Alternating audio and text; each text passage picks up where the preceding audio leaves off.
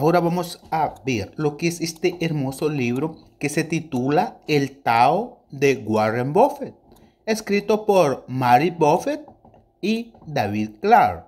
La sabiduría de un genio, con esto comienza lo que es el libro. Este libro está destinado a ser una obra clave en el mundo de los negocios. David Clark y Mary Buffett han logrado captar el alma de Warren Buffett, ofreciéndonos prácticas estratégicas que podemos utilizar para mejorar nuestro rendimiento financiero. Mary Buffett y David Clark. En primer lugar, Mary Buffett es autora y profesora en inversiones y estuvo casada con Peter Buffett, quien es hijo de Warren Buffett durante lo que son 12 años. Ella y David Clark, un gran amigo de la familia Buffett, abogado y profesor en temas de bufetología. Son los autores de Buffetología y Warren Buffett y la interpretación de estados financieros, ambas gestiones realizadas en el año 2000. Mary Buffett y David Clark son los autores de este bestseller de bufetología. Ahora vamos a ver lo que es el Tao de Warren Buffett. Palabras sabias de Warren Buffett. Citas e interpretaciones para ayudarle en el camino hacia convertirse en inversores multimillonarios y hábil gestor de negocios. Vamos a ver lo que es este precioso libro. Ahora vamos a lo que es leer lo que es la presente. En esta, esta publicación expresa únicamente las opiniones e ideas de sus autores. No debe considerarse una recomendación a comprar o vender los títulos de ninguna de las empresas o negocios aludidos. Se comercializa bajo el supuesto de que ni los autores ni el editor prestan ningún tipo de servicio legal contable, inversor o profesional. Las leyes de los estados varían entre sí y las leyes federales pueden ser de aplicación en determinadas transacciones. De modo que si el lector necesita asistencia financiera o legal experta, lo cual debería consultar a lo que es un profesional competente. Ni los autores, ni el editor ni el editor de este libro puede garantizar la exactitud de la información en dicho contenido. Los autores y el editor de esta obra declinan de forma expresa cualquier responsabilidad, pérdida o riesgo, ya sea profesional o de otro tipo, que sean derivados directa o indirectamente del uso y la puesta en práctica de cualquier contenido que fuera en ella. Ahora vamos a lo que es la introducción. Durante 12 años, desde 1981 hasta 1993, fui la nuera de Warren Buffett, el inversor con más éxito del mundo y ahora su mejor filántropo. Poco después de casarme con Peter, el hijo de Warren, y mucho antes de que fuera de Wall Street, la gente oyera hablar de Warren. Visité su residencia familiar en Omaha una vez ahí y ahí fue donde conocí a un pequeño grupo de estudiantes devotos de la sabiduría maestra del inversor, quienes se hacían llamar las bufetologistas. Una de los bufetologistas era David Clark. Guardaba cuadernos llenos de la sabiduría de Warren sobre lo que son las inversiones. Realmente meticulosos y de lecturas insaciables y, las cuales eran muy fascinantes. Los cuadernos de David constituyeron los cimientos sobre los que él y yo moldeamos los bestsellers sobre inversión y sobre bufetología. Las técnicas jamás contadas que han hecho de Warren Buffett el inversor más famoso del mundo. La bufetología y el worker de lo que es Know Your bufetología actualmente publicados en 10 idiomas, entre ellos el chino y el ruso. De todos los cuadernos de, de David, mi preferido estaba repleto de los aforismos más profundos de Warren, muy entretenidos de leer, ya que realmente te hacían pensar, tal y como descubrí más tarde. Para los bufetologistas, esos aforismos eran más similares a las enseñanzas de un maestro teoísta. Cuanto más los contemplan, más revelan. Con el transcurso del tiempo, yo también empecé a recoger aforismos de Warren Buffett. Nos decía en familia y, en reuniones sociales con crowd sobre los negocios. A veces Warren hacía y respondía preguntas a modo de profesor, recompensando lo que es la paciencia de los estudiantes con sus sabios consejos. Y cuanto más escuchaba Warren, más aprendía. Y no solo sobre inversiones, sino sobre los negocios y sobre la vida. Sus aforismos saben cómo permanecer contigo. A menudo me encuentro repitiéndolos para reflexionar y recordarlos y así convertirme a mí misma de no cometer un error. ¿Cómo dejarme arrastrar por lo que es el entusiasmo de un mercado alcista? Incluso me ayudaron enseñándome en qué tipos de empresas me debo centrar y cuándo es el mejor momento para invertir en ellas. Conservando lo que es el espíritu taoísta que rodea lo que son las explicaciones de Warren, David y yo pensamos que sería divertido crear lo que es este libro del Tao de Warren Buffett reuniendo los que creemos que son los aforismos más instructivos sobre lo que son las inversiones, dirección empresarial, elección de carrera y lucha por lo que es una vida exitosa. Estas palabras han sido verdaderos amigos para nosotros durante los años en los que hemos guiado nuestros caminos hacia la vida, hacia los negocios y hacia la búsqueda de la inversión decisiva. Hemos incorporado nuestras interpretaciones bufetologistas con el fin de ayudar a proporcionar un contexto y abrir las puertas a una exploración de los significados más sutiles y ocultos de estos aforismos. Espero que este libro enriquezca vuestro mundo convirtiéndolo en un agradable lugar para invertir, trabajar y para vivir. Esto nos enseña lo que es Mary Buffett. Ahora vamos a lo que es el capítulo número uno, el cual dice de la siguiente manera, hacerse rico y seguir siéndolo. Regla número uno, nunca pierdas dinero. Regla número dos, nunca olvide la regla número uno. El gran secreto para hacerse rico es dejar que el dinero aumente solo. Y cuanto mayor sea el importe inicial, eso es mucho mejor. Por ejemplo, si 100 mil dólares incrementan un 15% en 20 años, en el año 20 habrás ascendido hasta 1.636.653 lo que supone un beneficio de mil, de un millón mil dólares. Pero imaginemos que pierde 90 mil dólares de su capital inicial antes de empezar y que solo puede invertir 10 mil dólares. En ese caso, su inversión solo crecerá hasta llegar a 163.665. En el vigésimo año, con un beneficio de 153.665 dólares. Sin duda es una cifra inferior. Cuanto mayor es la cantidad de dinero que usted haya perdido, mayor es el impacto en su capacidad para ganar dinero en el futuro. Es algo que Warren nunca ha olvidado.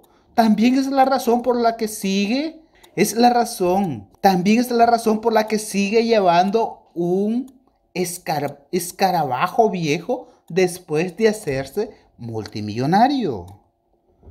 Regla número 2. invertí por primera vez a los 11 años. Hasta entonces estuve desperdiciando mi vida. Encontrar la vocación a edades tempranas es bueno y el ámbito de la inversión te ofrece increíbles oportunidades para multiplicar sumas de dinero con las que trabajar.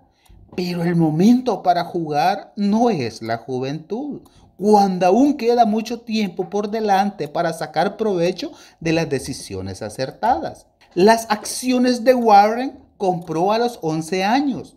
Eran de la industria petrolera, la cual es la City Service. Adquirió tres acciones a 38 dólares, solo para ver cómo caían hasta 27. Tuvo que esperar y tras recuperarse las vendió a 40 dólares cada una. Poco después remontaron hasta los 200 dólares por acción y aprendió su primera lección sobre inversión. Hay que tener paciencia. A los que esperan les llegan cosas buenas, siempre que escojan la acción correcta. Vamos con la regla número 3. Nunca temas pedir demasiado cuando vendas, ni ofrecer muy poco cuando compres.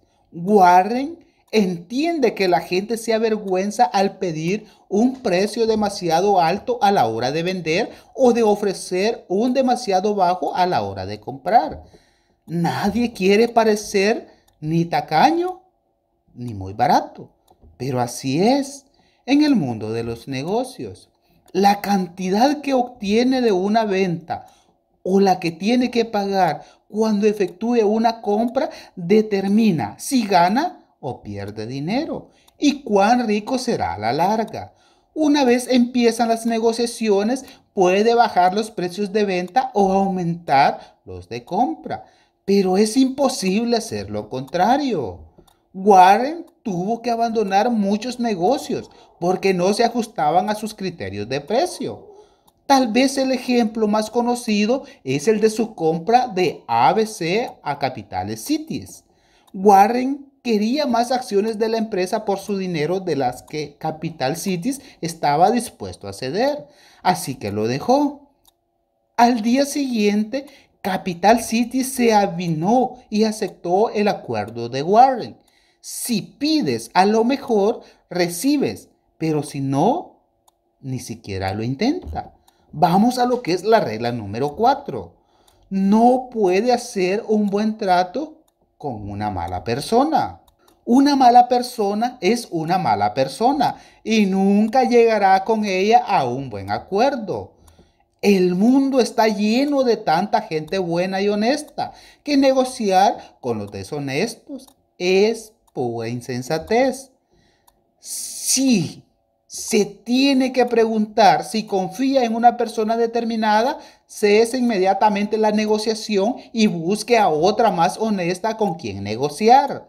Si no se pregunta si el paracaidista se abriera cuando salte de lo que es el avión. Tampoco debe hacerlo sobre lo que es la integridad de la persona con quien está a punto de meterse en negocios. Si no confía en ella ahora, tampoco lo hará más adelante. Entonces, ¿por qué hacerlo? Warren aprendió esta lección cuando se dirigía a casa tras reunirse con la junta directiva de Salomon Brother. Brother.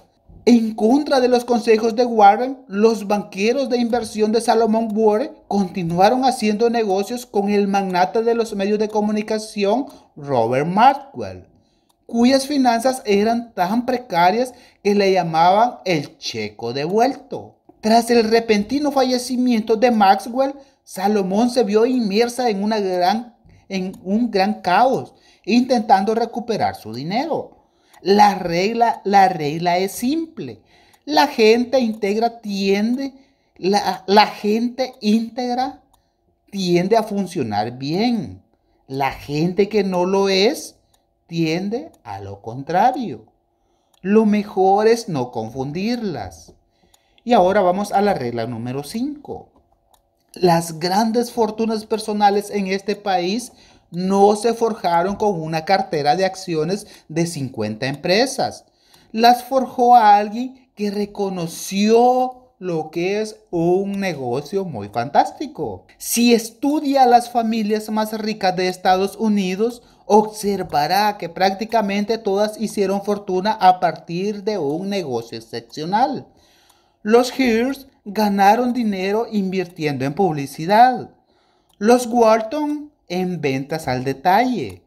Los Greenlands en chicles. Los Mar en dulces. Los Gays en software y los Coors y los Bush en la elaboración de cerveza. La lista es interminable y casi sin excepción, cuando se alejaban del maravilloso negocio que los había hecho increíblemente ricos, acababan perdiendo dinero, como cuando Coca-Cola encontró en el negocio del Sims. La clave del éxito de Warren Buffett es que ha sido capaz de identificar exactamente las características económicas de un buen negocio. Un negocio que tiene una ventaja competitiva duradera, que se adueña de una parcela de la mente del consumidor. Cuando piensas en chicles, piensas en, en Cuando piensas en tiendas de saldos, piensas en Walmart. Y cuando piensas en una cerveza fría, piensas en Cool o Budweiser. Esta posición tan elevada crea su poder económico. Warren aprendió que a veces la poca visión de futuro de la bolsa de valores subvalora terriblemente estos negocios. Y cuando esto sucede, aparece él y compra todas las acciones que puede. La sociedad de Warren Buffett, de nombre Berkshire Hardware, es una colección de algunas de las mejores empresas estadounidenses, todas ellas extremadamente rentables y compradas cuando Wall Street las ignoraba. Vamos a lo que es la regla número 6. No se puede desfirmar un contrato, por lo tanto, reflexione antes de hacerlo. Repitiendo, no se puede desfirmar un contrato. Por lo tanto, reflexione antes de hacerlo. Warren aprendió que una vez se haya firmado, el trato está hecho. No hay vuelta atrás y ya no se puede pensar si es bueno o no. Por lo tanto, reflexione antes de firmar. Es más fácil decirlo que hacerlo. Porque cuando te ponen el papel delante, las ganas de cerrar el trato te impiden pensar con claridad. Antes de firmar un contrato, imagine todo lo que puede salir mal, porque a menudo eso pasa. El camino de las buenas intenciones está sembrando con problemas previsibles. Si piensa largo y tendido antes de dar el salto, evitará tener que pensar en el problema que acaba de contratar. Warren olvidó poner una cláusula de lo que de no competencia en su contrato con Rush Brookie, de 89 años, cuando le compró Nebraska Fortune en Mar de Omaha, uno unos años después, como no le gustaba el rumbo que estaba tomando la tienda, la señora Brooklyn se fue y abrió una nueva justo enfrente, robando montones de negocios a NFM. Tras unos años sufriendo lo que es la dura competencia, Warren cedió y aceptó comprar la nueva tienda por la friolera a través de lo que son 5 millones de dólares. En esta segunda ocasión le hizo firmar un contrato de no competencia. Y por suerte, porque ella continuó con el negocio hasta los 103 años. Regla número 7. Es más fácil no meterse en problemas que salir de ellos. Repitiendo, regla número 7. Es más fácil no meterse en problemas que salir de ellos. Es bastante más fácil evitar la tentación de incumplir la ley para ganar dinero fácil que tener que lidiar con las consecuencias si te cogen. Para no meterse en problemas, solo tiene que hacer lo correcto en el momento correcto. para salir de ellos necesita mucho dinero y buenos abogados. E incluso así puede acabar cumpliendo una larga condena.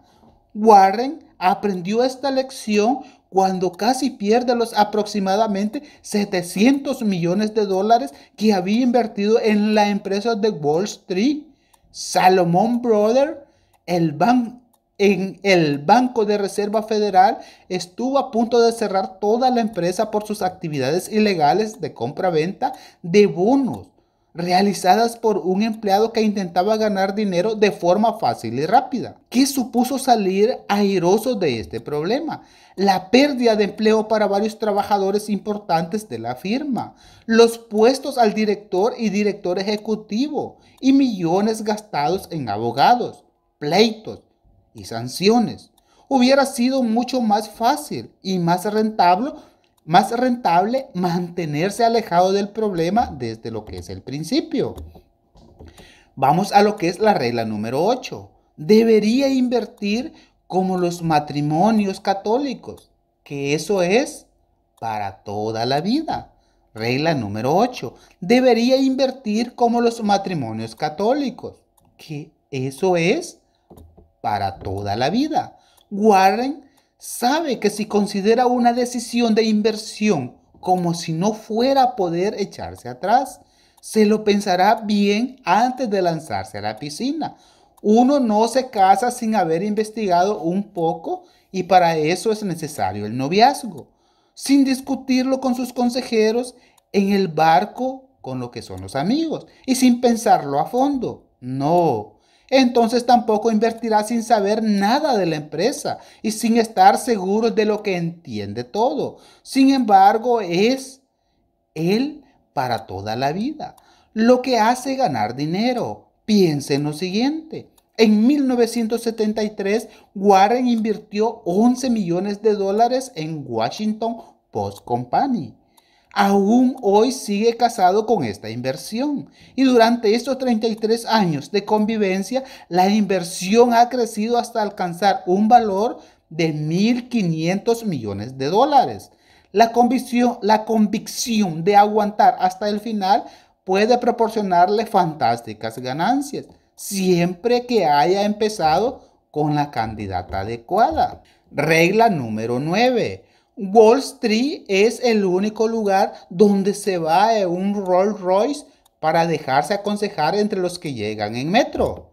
A Warren siempre le ha extrañado que gente de negocios inteligente y con éxito que llevan toda la vida ganando grandes sumas de dinero pidan asesoramiento a la hora de invertir agentes de bolsas, demasiado pobres como para aconsejarse a sí mismos. Si sus consejos son tan buenos, ¿por qué no se han hecho ricos? ¿Será porque no se enriquecen con los consejos que dan, sino con las comisiones que cobran? Hay que ir con cuidado con la gente que necesita utilizar su dinero para hacerle rico. Sobre todo cuando cuentas más cosas, le venden más. Sobre todo cuando cuantas cosas le vendas, Así es como se harán más ricos. Su prioridad es utilizar su dinero para hacerse ricos. Y si pierdes, y si pierden su dinero, pues solo tienen que encontrar a otra persona a quien vender sus consejos.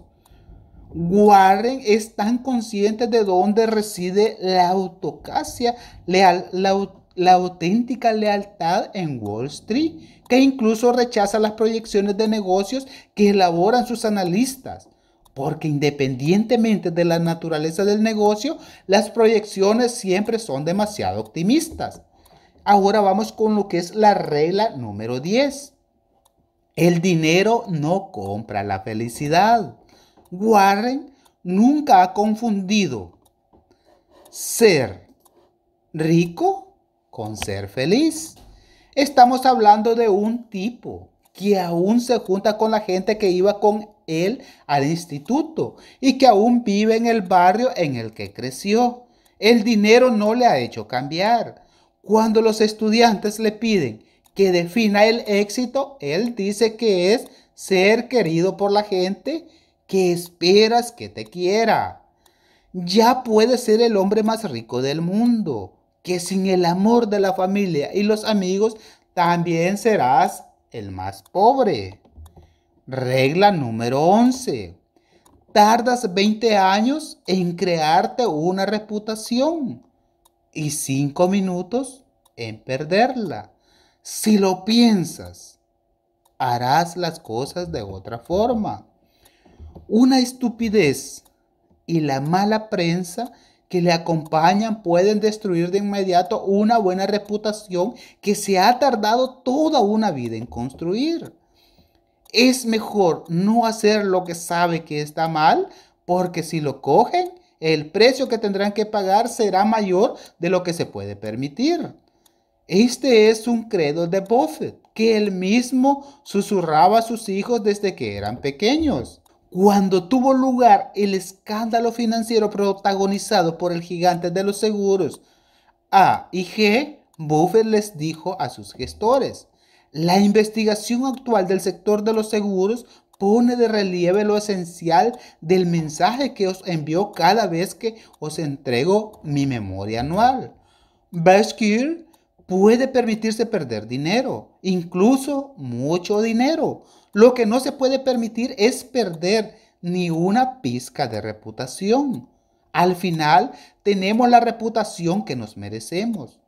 Hay mucho dinero que ganar en el centro del campo.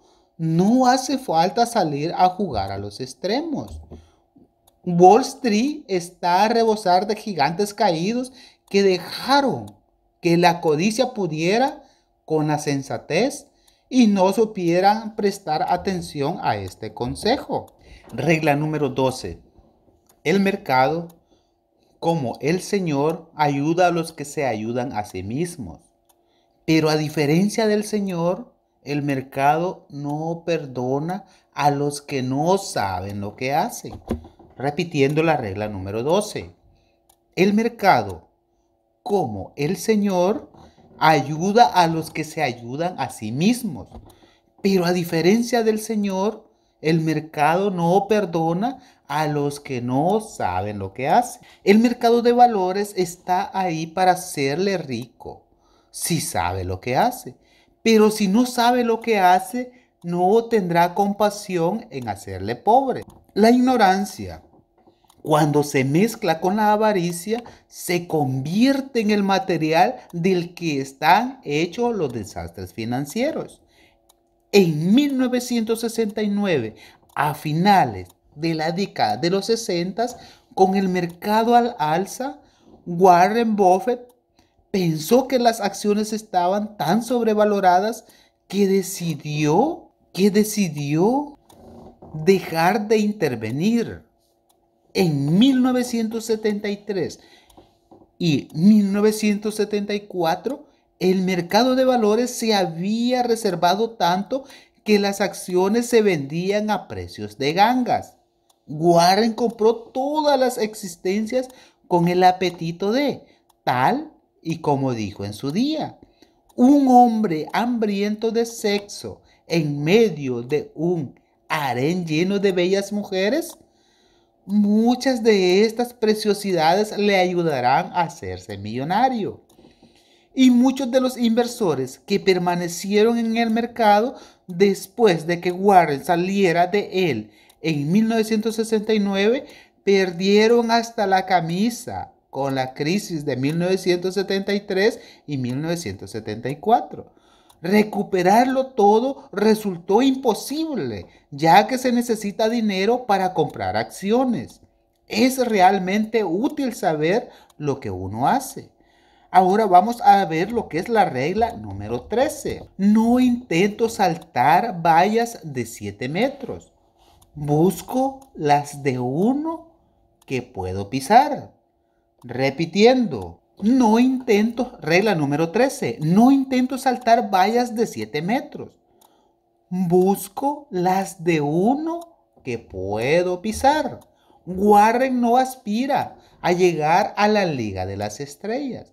Ni siquiera intenta hacer home, home run en cada lanzamiento. Permanece a la espera del lanzamiento perfecto y se queda con lo seguro.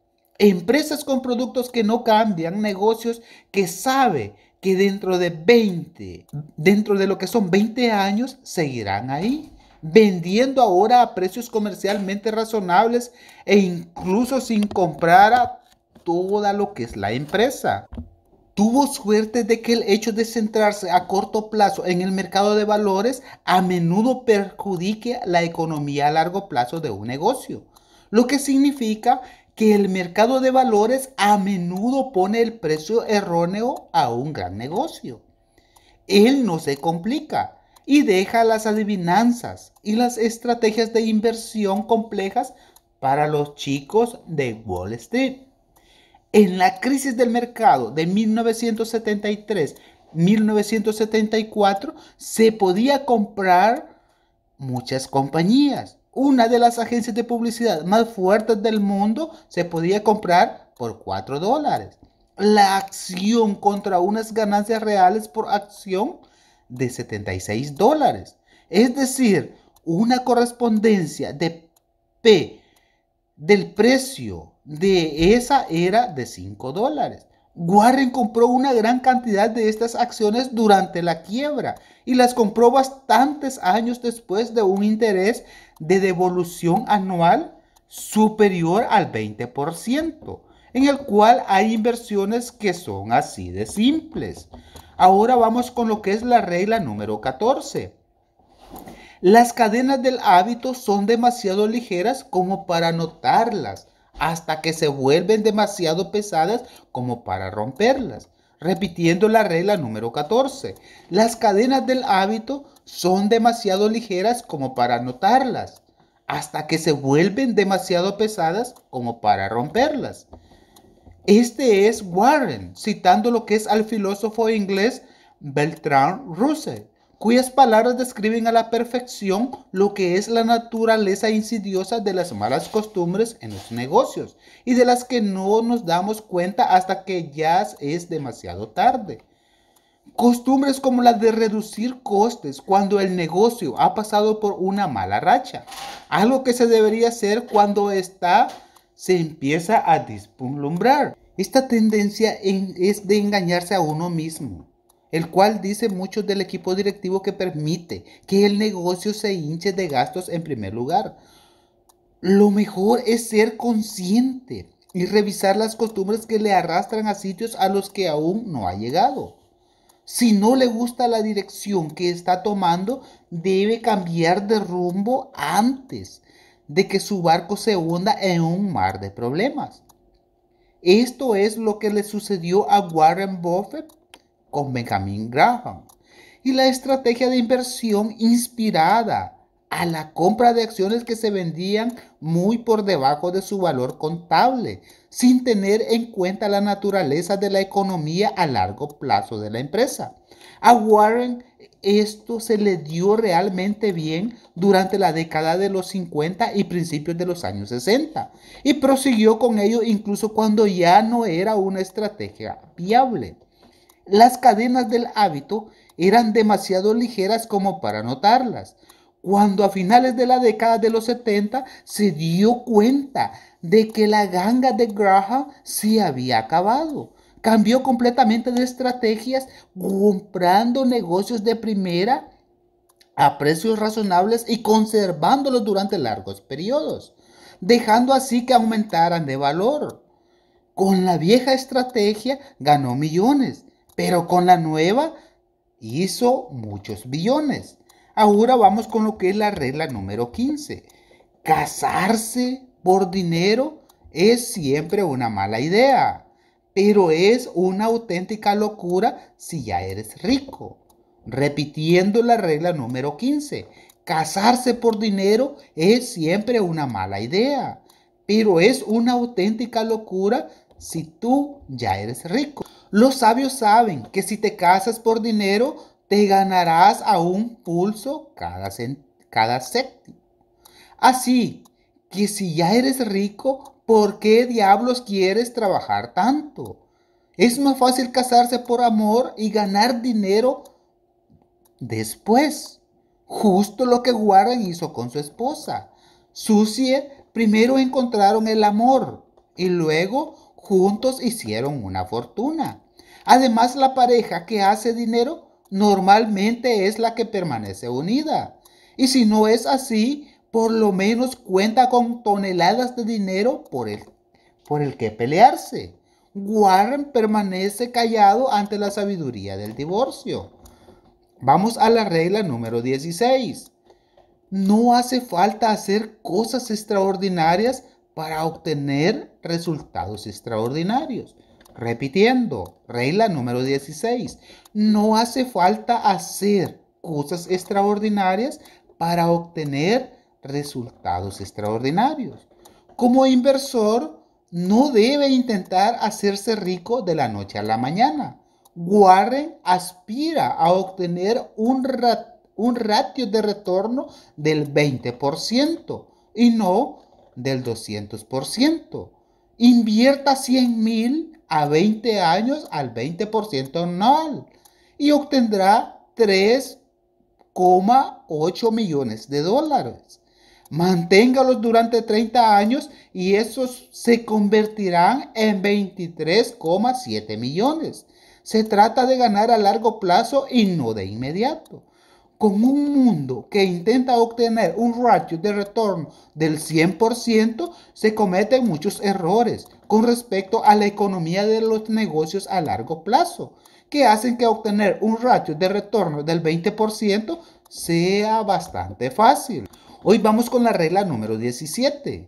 Si tiene que pensar en las acciones como pequeñas piezas de negocio, Repitiendo, regla 17, tiene que pensar en las acciones como pequeñas piezas de negocio. A veces, cuando la gente invierte, se le olvida de que está comprando una participación fraccionaria de una empresa. A Warren le gusta pensar que tener acciones es como ser propietario de una pequeña parte del negocio. Así puede considerarse si está pagando demasiado por el negocio multiplica el precio de las acciones por las cantidades de acciones en circulación y a continuación se pregunta si sería una buena idea comprar todo el negocio o no. Si comprar todo el negocio resulta demasiado caro, también lo es comprar una única acción. Pensar así lo puede evitar verse atrapado totalmente en el frenazi y especulador que a menudo acompaña al mercado alcista. Rara vez en Wall Street o en otros mercados de valores se venden a precios a los que sería sensatos comprar todo lo que es el negocio. Regla número 18. Mi idea de una decisión de grupo es mirar al espejo. Repitiendo, regla 18. Mi idea de una decisión de grupo es mirar al espejo. Warren no es de esos que buscan la aprobación de sus ideas en los demás, porque muchas de ellas se oponen a lo que la gran mayoría piensa. Para hacer fortuna en el mundo de las inversiones, tienes que aprender a pensar de forma independiente y para ello se tiene que sentir cómodo estando solo. La historia de Warren en solitario se remonta a los primeros años de su carrera como inversor. Decidió vivir en Omaha, en un lugar de Nueva York, porque la influencia de Wall Street era menor. Adquirió acciones de Versailles Hearts cuando nadie quiso hacerlo. Y de American Express, también de Washington Post Company y también de la General Food y así adquirió bonos de Washington Public Power Supply System cuando nadie los quería, e incluso bonos basura que por supuesto tampoco nadie quería. Hoy aún conserva algunas de esas inversiones y otras las vendió tras, tras aguantarlas durante muchos años. Pero con todas y cada una de ellas ha ganado muchísimo dinero. Si se hubiera fiado de algunos de los de Wall Street, hubiera perdido la oportunidad de hacer inversiones tan extraordinarias. Vamos a lo que es la regla número 19. Si no puede ganar dinero en un mercado americano de 5 billones de dólares, sería hacerse ilusiones pensar que lo único que tengo que hacer es alejarme unos cuantos miles de kilómetros y hacer la apuesta. Regla 10, repitiendo la regla 19. Si no puedo ganar dinero en un mercado americano de 5 billones de dólares, sería hacerse ilusiones pensar que lo único que tengo que hacer es alejarme unos cuantos miles de kilómetros y hacer la apuesta. Lo más curioso de esta cita es que 10 años después Warren hizo miles de kilómetros para negociar. En el 2003 compró unos 500 millones de dólares del valor de Petrochina, una petrolera cuyo 90% pertenece al gobierno chino, lo que significa que tal y como destacaba Warren bromeando, entre los dos gobernamos lo que es la empresa. Petrochina es la cuarta petrolera más rentable del mundo. Produce tanto crudo tales como Exxon y Warren la compró por una tercera parte de lo que cuestan las petroleras occidentales. Por si lo estás preguntando, desde entonces su valor ha aumentado a lo que es un 400%. Si esto no es hacer negocios, ahora me pregunto cuál puede ser. Ahora vamos a lo que es a la regla número 20. Debería invertir en un negocio que hasta un tonto pueda dirigir, porque algún día lo hará. Regla número 20 debería invertir en un negocio que hasta un tonto pueda dirigir, porque algún día lo hará. Hay negocios con una economía subyacente extraordinaria y otros con una economía subyacente bastante pobre. Hay que invertir en los primeros porque es difícil perjudicarles. Las empresas en las que Warren ha invertido, tales como Coca-Cola, Budweiser, Walmart, Gridley, Hershey's y HIR Block son negocios a prueba de tontos. Sabe que ganará dinero con estos negocios, aunque el director general sea lo que es un inecto. En cambio, si le preocupa que alguien así dirija la empresa, entonces a lo mejor no es tan buen negocio y no debería invertir en él. Vamos con lo que es la regla número 21. Con cada una de sus inversiones debería tener el valor y la convicción de invertir por lo menos un 10% de su capital. Repitiendo la regla 21 con cada una de sus inversiones debería tener el valor y la convicción de invertir por lo menos un 10% de su capital.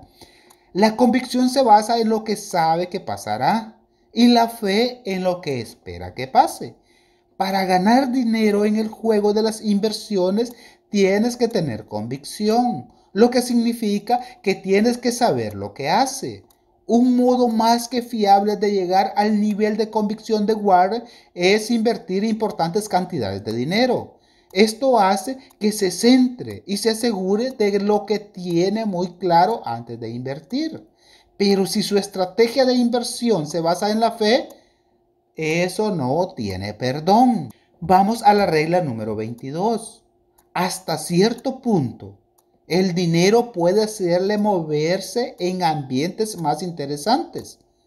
Lo que no puede hacer es que le quiera más gente o menos, o que goce de mejor o peor salud.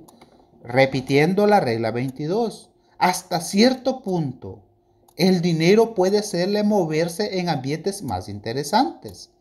Lo que no puede hacer es que le quiera más gente o menos o que goce de mejor o peor salud. La verdad es que el exceso de grandes cantidades de dinero puede aportar grandes cantidades de miseria a su vida. Sus hijos no trabajan porque creen que van a heredar una gran fortuna, lo que significa que nunca desarrollarán la autoestima que conlleva a trabajar lo que significa que acabarán siendo unos amargados y pasarán el tiempo deseando su fallecimiento anticipado. Si es desorbitante ser rico, probablemente acabará rodeado por una manada de aduladores que le llenarán la vida de mentiras para alimentar sus delirios de grandeza hasta hacerle quedar como un tontaina a los ojos del resto del mundo. Y en lugar de hacer cosas arriesgadas con su dinero y su vida, acabará malgastando su tiempo, protegiendo todas sus riquezas de sus sirvientes, abogados, contables y el llamado gerente de cartera, quienes le asesorarán para que su dinero se convierta en el dinero de ellos. Warren cree que los hijos que heredan grandes riquezas suelen no hacer nada con sus vidas. Y tampoco cree que sea positivo para las sociedades que haya una clase alta formada por riquezas heredadas. Cree que un país prospera más si reina en la meritocracia, con gente que gana lo que se trabaja, por eso donó su fortuna de 32 mil, millones de dólares que ganó invirtiendo para ayudar a la sociedad que le había generado. Dejemos que este noble pensamiento llegue a los corazones de todos aquellos que hacen fortuna en el mundo. Ahora vamos a lo que es el capítulo número 2. Negocios. Regla número 23 todo lo que no pueda mantenerse en movimiento eternamente se detendrá. Repitiendo la regla número 23, todo lo que no pueda mantenerse en movimiento eternamente se detendrá. El precio de cualquier acción que suba vertigiosamente se detendrá en cuanto la realidad económica del negocio se instale definitivamente podría parecer que el aumento seguirá al infinito, pero si la empresa no logra un rendimiento que esté a la altura de las expectativas que han conducido el valor al alza, los títulos alcanzarán un pico y después caerán en picado. La mayoría de negocios que muestran un buen comportamiento tarde o temprano empezarán a decaer. Las situaciones cambian y solo es cuestión de tiempo. Los, látigos utilizados para guiar las caballerizas fueron a otro tiempo un gran negocio. En Estados Unidos también estuvieron en boga en su día a los, a los aparatos de video y las empresas de ventas y reparación de máquinas de escribir fueron otros negocios indispensables e inseparables de lo que es la economía. Ahora no son más que reliquias del pasado sin ninguna expectativa económica. Todo termina. Por eso no solo tenemos que estar atentos a lo que nos traemos entre manos, sino también al camino que nos espera. En varias ocasiones, Warren ha invertido en negocios que o bien han cerrado o bien han experimentado cambios radicales durante lo que es su gestión.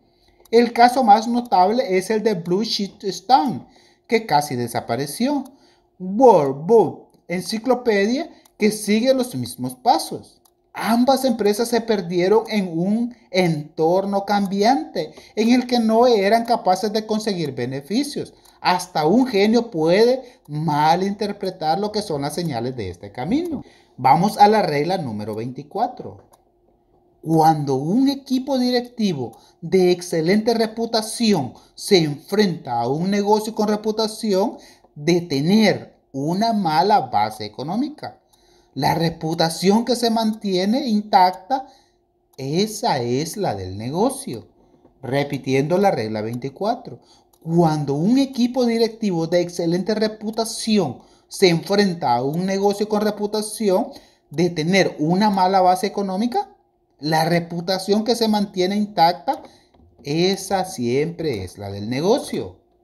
Existen grandes negocios con una excelente base económica que tienen los medios financieros para resolverse cuando entran en una situación de peligro y los negocios mediocres con una base económica deficiente e imposible de salvar por más brillante que sean los directivos. Los grandes negocios normalmente van sobrados de efectivo. Tienen pocas deudas. Claro, sí las tienen. Y están en buena posición para comprar la salida a sus problemas o bien para salir airosos de las turbulencias económicas. Los negocios mediocres, en cambio, siempre tienen problemas de liquidez y arrastran deudas. Así que cuando entran en zona peligrosa, normalmente tienen que restar de un lado para sumar por el otro, lo que acaba agravando los problemas. Poco importa que un negocio mediocre se gestione la fortuna brillante, ya que su mala base económica lo mantendrá siempre atado a los malos resultados. Vamos con lo que es la regla número 25. El idioma de los necios es la contabilidad. Repitiendo, regla 25. El idioma de los necios es la contabilidad. Hay muchas maneras de describir lo que sucede en un negocio, pero cualquier definición remitirá siempre a la contabilidad. En una ocasión, cuando la hija de uno de los socios comerciales le preguntó a Warren qué debería estudiar en la universidad, y él le respondió, contabilidad es el idioma de los negocios. Para poder leer los estados financieros de una empresa hay que saber leer los números y para ello es necesario aprender contabilidad. Si no puedes interpretar las cuentas, no podrás tenerlas en cuenta, lo que significa que no sabrás distinguir los ganadores de los perdedores. Ahora vamos con lo que es la regla 26. En la regla 26 dice de la siguiente manera, los giros esperados casi siempre toman otros giros. El mundo está lleno de negocios económicamente discretos que se venden a precios aparentemente de risa. Warren, Warren Buffett busca buenos negocios que tengan un precio justo o mejor aún, grandes negocios a precios de ganga. Algo difícil de encontrar. Los negocios mediocres siguen siendo siguen siéndolo independientemente del precio que se pague por ellos. Puede que el precio de las acciones varíe, pero los rasgos subyacentes al negocio suelen mantenerse invariables. Si es un buen negocio, lo seguirá siendo. Y si es un mal negocio, otro tanto sucederá.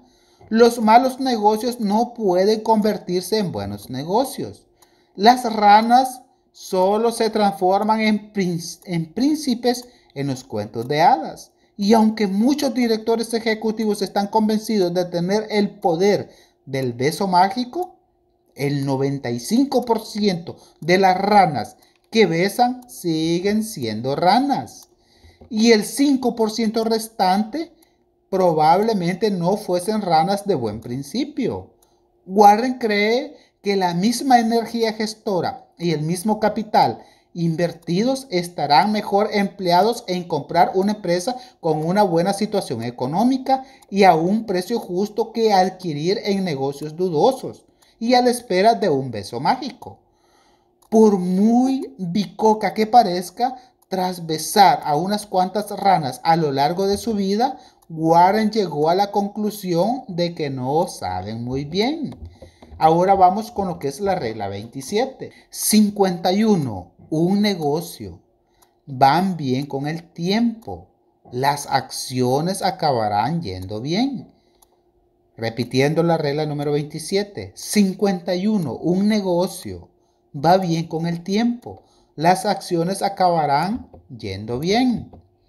Uno de los principios en los que confía Warren es en que si un negocio funciona bien en lo fundamental a lo largo de un periodo prolongado, el precio de sus títulos aumentarán para reflejar ese aumento subyacente del valor de la empresa.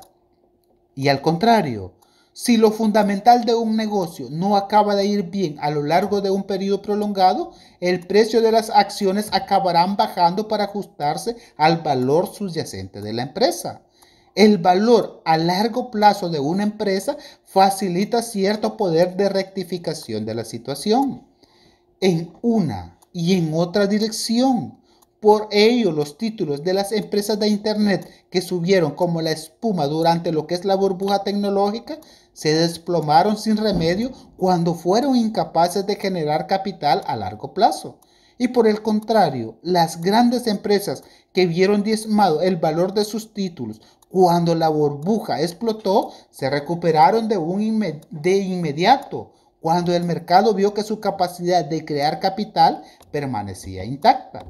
Si adquiere títulos cuando su valor está por los suelos, debería asegurarse de que la situación económica de la empresa a largo plazo vaya a ser buena. Y que sí lo es. Y si el negocio se comporta bien a largo plazo, los títulos subirán. Pero para que esto suceda, el negocio debe ir bien. Y para ir bien, resulta de inestimable ayuda que el negocio fuera un buen negocio desde el primer momento. Las empresas que mostraban un excelente comportamiento financiero a su favor cuando Warren compró sus títulos, pero que en ese momento se enfrentaban a un problema puntual salvable, a una recesión del sector, a un mercado a la baja. En todas estas empresas, el valor a largo plazo acabó provocando que el mercado de valores revalorizara felizmente al alza lo que es el precio de los títulos. Ahora vamos con lo que es la regla 28. Gestionar la propia carrera profesional es como invertir. El grado de dificultad no cuenta. Así pues, subir al tren adecuado le ahorrará dinero y le ahorrará sufrimiento. Repitiendo la regla 28, gestionar la propia carrera profesional es como invertir. El grado de dificultad no cuenta. Así pues, subir al tren adecuado le ahorrará dinero y le ahorrará sufrimiento. No solo es necesario aprender en qué tipo de negocios hay que invertir, también hay que aprender en cuáles de ellos trabajar. Si trabajamos para una empresa con expectativas financieras mediocres, a largo plazo nunca podremos esperar que las cosas nos vayan realmente bien porque la empresa no irá bien. Los sueldos se situarán por debajo de la media y los aumentos serán escasos e infrecuentes. Además, el riesgo de perder el puesto de trabajo será mayor ya que los directivos se verán presionados constantemente a recortar costes.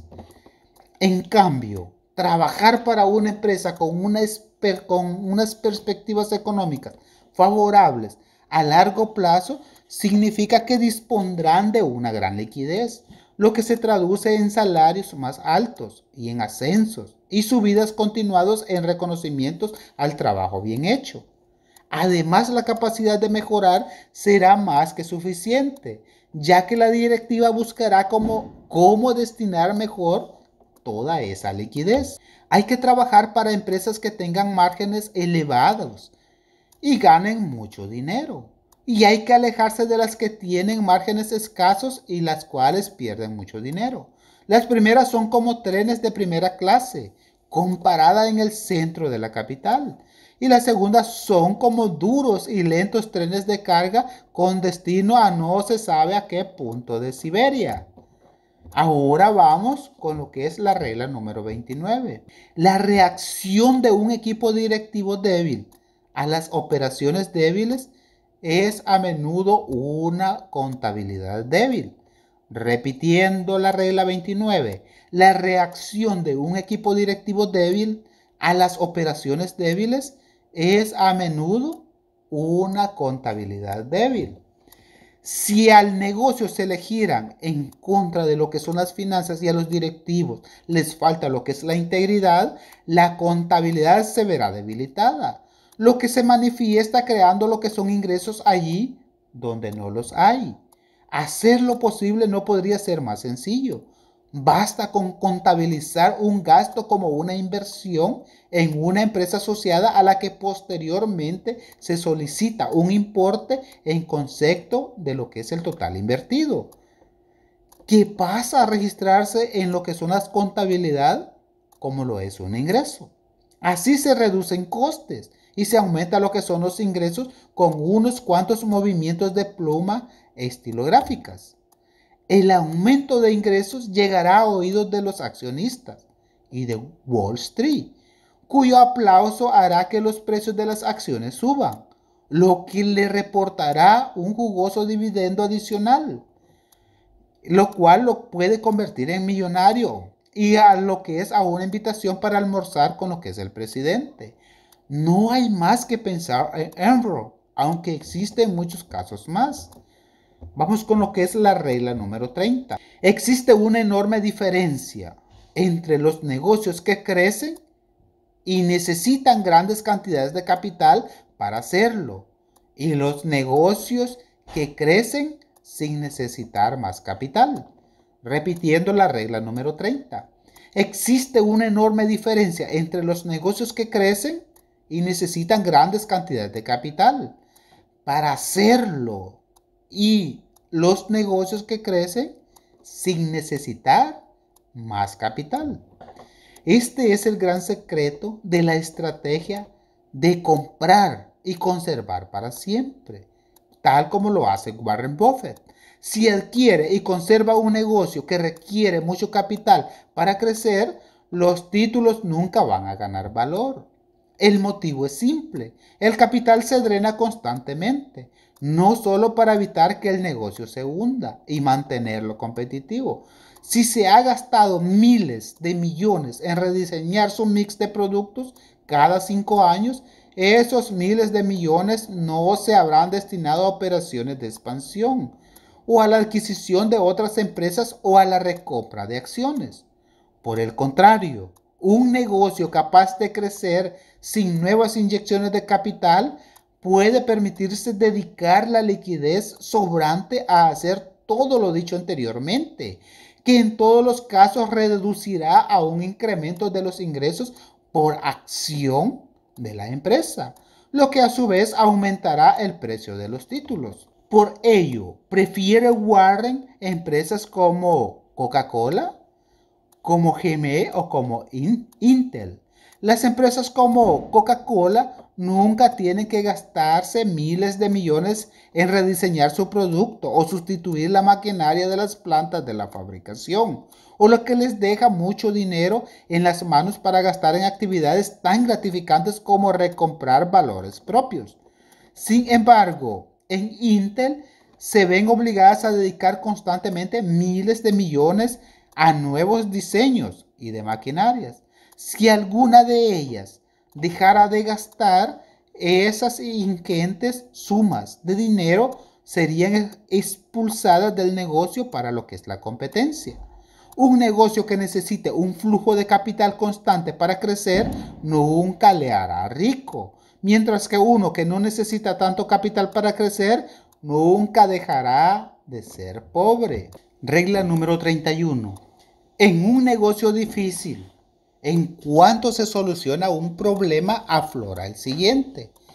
Nunca hay una sola cucaracha en la cocina. Repitiendo la regla 31.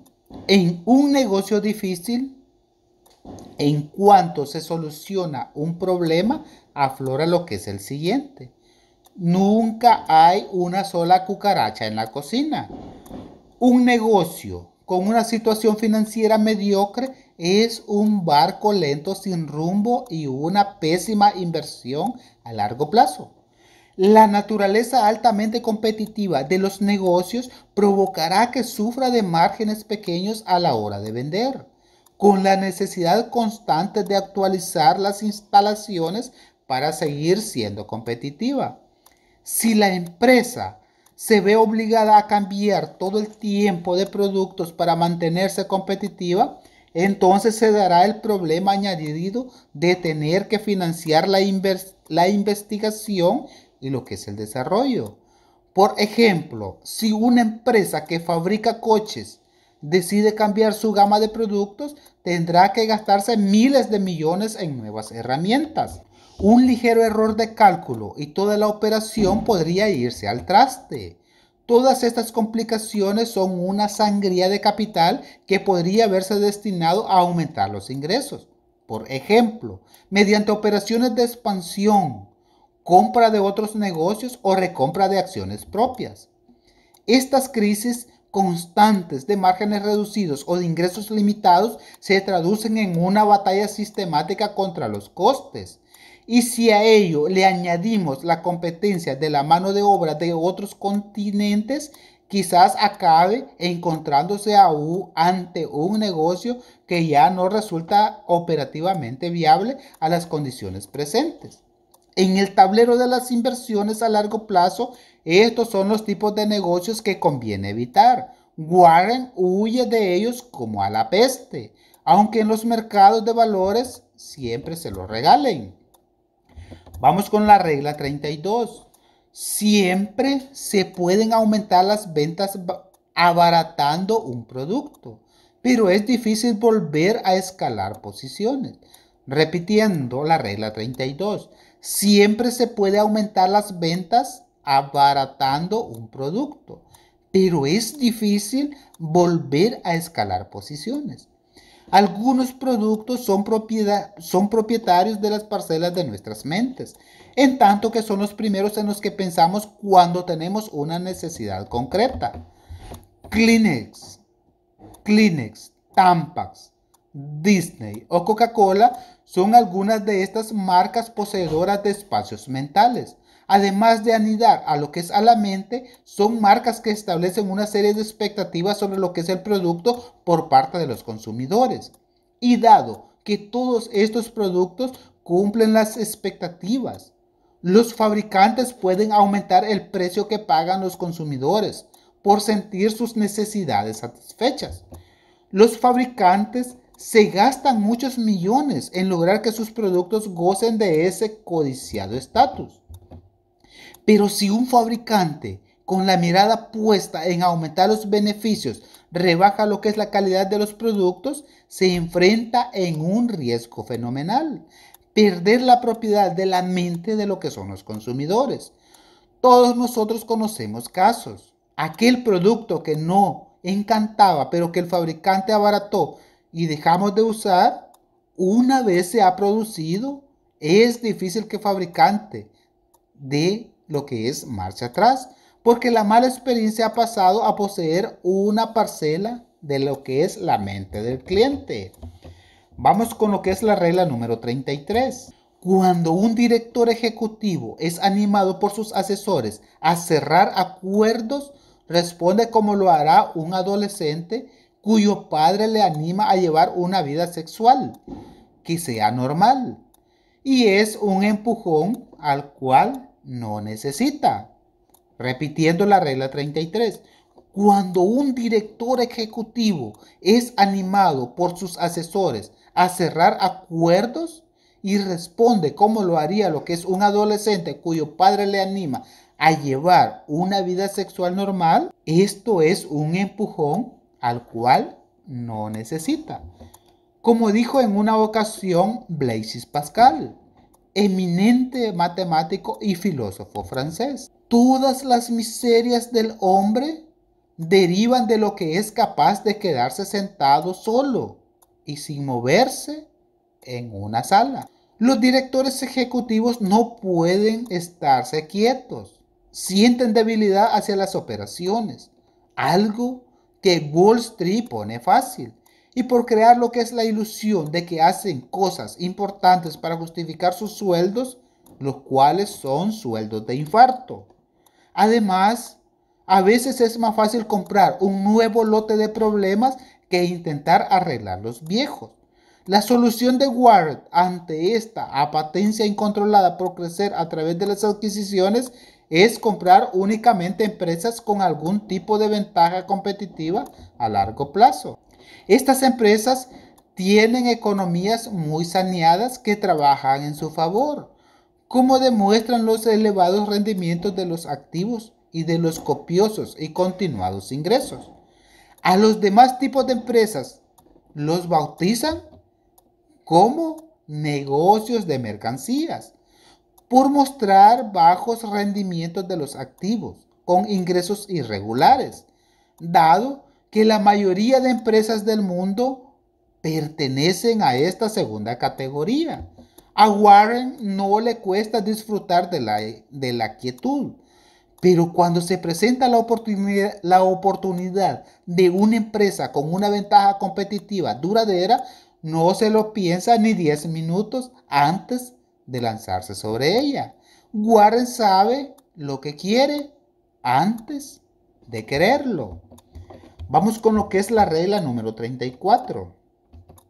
La regla 34 dice de la siguiente manera. No es necesario recuperar el dinero del mismo modo en que se ha perdido.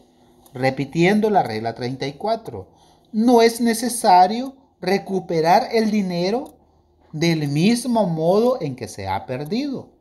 Los inversores, los inversores nobles a veces piensan que la única manera de jugar es apostando al mismo valor que les ha hecho perder dinero y siguen haciéndolo una y otra vez, como si se tratara del casino, con la esperanza de que la suerte cambie. Pero los valores, a diferencia de los juegos de azar, presentan niveles de riesgo radicalmente distintos a causa principalmente de dos factores. Uno es la calidad de la empresa y el precio que tienen esas acciones en relación con dicha calidad. Cuanto mayor sea la calidad, menor será el riesgo. Y cuanto menor sea el precio en relación con la calidad del, negocio, menor será el riesgo. La mayoría de veces la calidad elevada va acompañada de precios elevados lo que hace que no valga tanto la pena. Pero a veces el mercado de valores se comporta de forma muy extraña y se puede conseguir buena calidad de bajos precios. Aquí es donde se consigue dinero fácil. De lo que hay que huir es de las empresas de baja calidad y que son precios elevados, porque ahí es donde se pierden las fortunas. Si la calidad es baja en un negocio y el precio por esa calidad es alto, hay que salir. Mientras que si la calidad coincide con un precio bajo respecto a lo que es la calidad, hay que entrar en el negocio. Aún así, todos y cada uno de los títulos son lo que es un nuevo juego, con nuevas probabilidades que cambien a medida que lo hace el precio de los valores. Así, que es mejor esperar hasta encontrar uno en el que esas probabilidades jueguen a nuestro favor, de modo que exista cierto margen de seguridad. Entonces hay que apostar fuerte. Lo bueno del mercado de valores es que a diferencia de un casino, ocasionalmente ofrece una buena pieza. Warren siempre busca esas buenas piezas. Y ahora nos vamos a lo que es a la regla número 35 la cual dice la siguiente manera. Busco negocios cuya trayectoria al cabo de 10 o 15 años creo que soy capaz de predecir. Pensemos en una marca de chicles como Whirley. No creo que Internet vaya a cambiar el modo en que la gente mastica los chicles. Repitiendo, regla 35. Busco negocios cuya trayectoria al cabo de 10 o 15 años creo que soy capaz de predecir. Pensemos en una marca de chicles como Wilder. No creo que Internet vaya a cambiar el modo en que la gente masca los chicles. Los productos que permanecen se traducen en ingresos permanentes. Si el producto no necesita cambiar, podrá cosechar todos los beneficios de no tener que invertir dinero en investigación y desarrollo, ni caer víctima de los vaivenes de lo que es la moda. Piense, por ejemplo, en la cerveza, los refrescos o los caramelos. Budweiser lleva elaborando las cervezas del mismo modo desde hace más de un siglo. Coca-Cola sigue vendiendo el, el mismo agua milagrosa azucarada y aromatizada desde hace más de un siglo. Y Willy lleva elaborando los mismos chicles desde hace exacto más de 100 años. ¿Lo ha captado? ¿Cree que podría predecir lo que, lo que estas empresas venderán de aquí a, digamos, a 15 años? ¿Sí puede? Bien, podría convertirse usted en el nuevo Warren Buffett. Y hasta aquí llega lo que es el capítulo número 2. Posteriormente vamos a ver el capítulo número 3, el cual dice los mentores de Warren Buffett.